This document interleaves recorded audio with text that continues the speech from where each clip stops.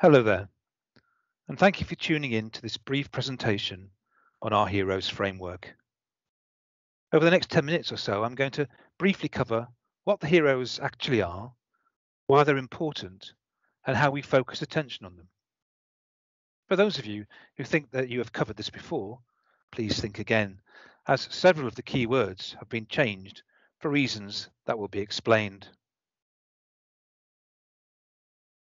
Heroes is the name we give to the ways we approach learning and life that we consider to be the most important to individual, collective progress and success. There are four of them. Being hardworking, being empathetic, being resourceful, and being organised. And as you can see, the first letter of each makes for the convenient acronym HERO. We must all work together to explore the relevance of each to success both in and out of school and what choices, actions and behaviours go to make up each. It is vital to note that we firmly believe that no one is born with these attitudes and behaviours and that they are all learnable and improvable. Indeed, that is the key purpose of schooling. We see being hardworking as made up of three components. Firstly, the extent to which one pers perseveres, sticking at things until your goal is achieved.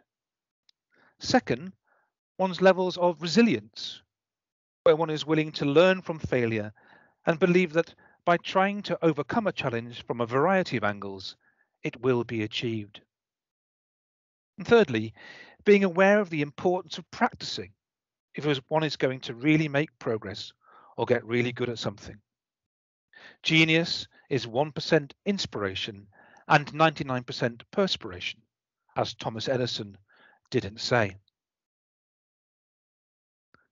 Being empathetic is crucial to successful learning, open to the thoughts and feelings of both yourself and others. Again, we've broken it up into three parts. Demonstrating and understanding the importance of a concern for others means a greater awareness of the wide variety of factors that influence the world and its meaning, as well as increased levels of well-being and satisfaction. Developing the skills involved in successful collaboration, working flexibly and supportively with others, again opens up resources and insight that would otherwise be closed. And finally, developing a belief that one can achieve and change things, a sense of agency, as it's called, comes about by being open to the learning process. Knowing that learning can be effortful and stressful at times, but that it will mean change and growth that leads to a confidence in giving things a go. The third of our four key learning attributes and targets is to get better at being resourceful. Counter to popular belief, being creative is not something that one is born with. Creativity is a learnable process and is open to everyone. Being imaginative and flexible in one's thinking is supported by taking an open-minded approach, willing to see the bigger picture and allowing one's mind to change where the evidence compels it to do so.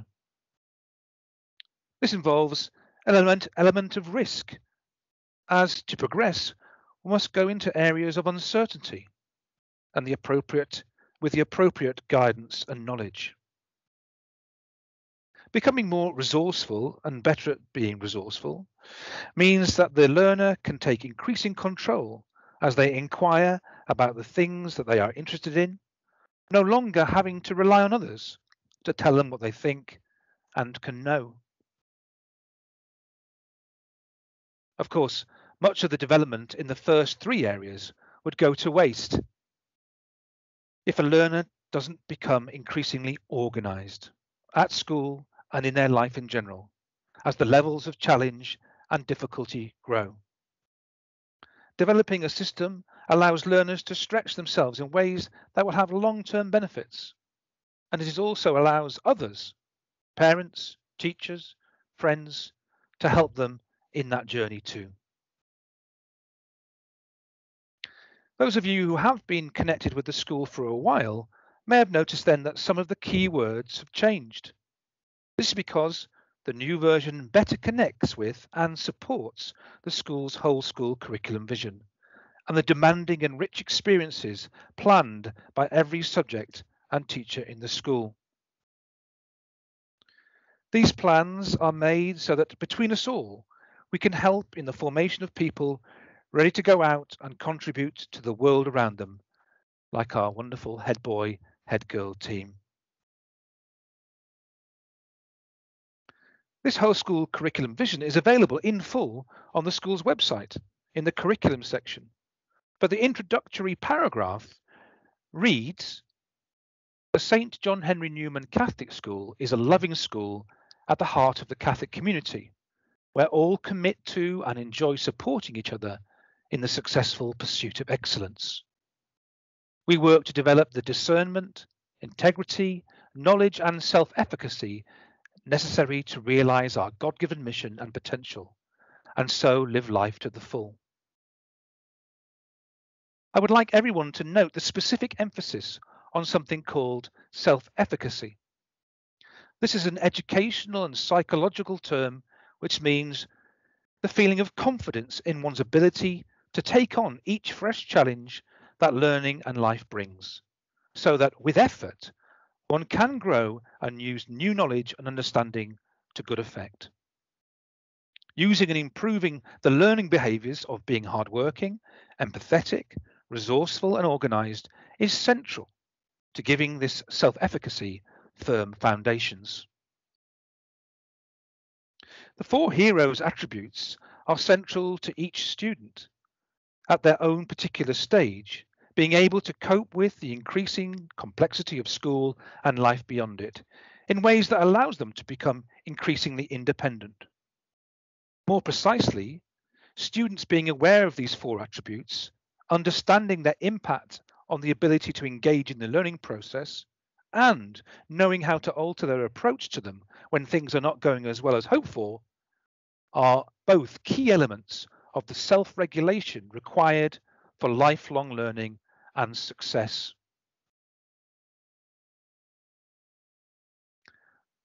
Not only do the hero characteristics support the growth of independent learners, but they are also the mechanism by which we connect together the different elements of our school experience. Our whole school curriculum vision is delivered through our subjects, first and foremost, through our curriculum beyond the formal subjects and delivered by a cohesive and consistent approach to teaching and learning in the classroom, our so called JHN lesson framework. The golden thread that links these complementary elements together is that they all draw upon and give opportunities to progress in the four heroes' characteristics. This is why it is vital that all members of staff ensure in their curriculum and lesson planning that there are opportunities for students to demonstrate and develop these characteristics and attributes. The hero characteristics and elements and behaviours that they are comprised of need to be brought to the, the front of all our minds so that they become common currency in conversations between teachers, students, parents, and guardians as approaches to and progress in learning are discussed.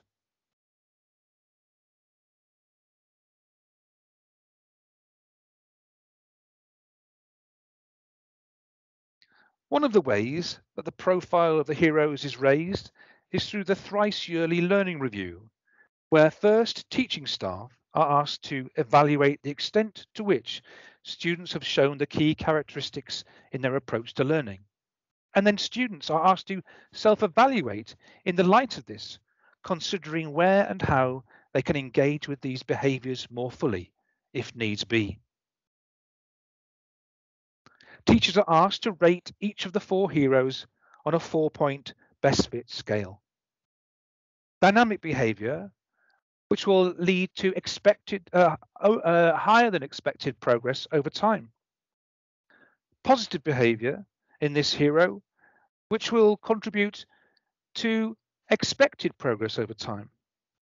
A passive approach to this attribute, which will lead to underachievement over time. Or finally, a disengaged behavior, which will lead to significant underachievement over time. It is important for all to note that the school sees the relationship between the heroes and a student's progress in school, though ultimately it is about encouraging these attributes for life beyond the school gates. Here, for instance, are the criteria that teachers will use to evaluate hard working in a learning review.